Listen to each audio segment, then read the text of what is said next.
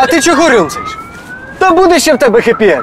От у моїй тещі кінотеатр, і щоб затягти людей у кіно після карантину, вона сама дознімала ті голівудські блокбастери. На Нокію свою без камери.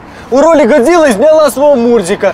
А для сини у Нью-Йорку самотужки добудувала всі недобудови на дарниці, а музику писала свистом через два пальці і урчанням в животі. І нічого, вивезла. Навчися виживати, коли здається, що гаплик. Український маркетинг форум.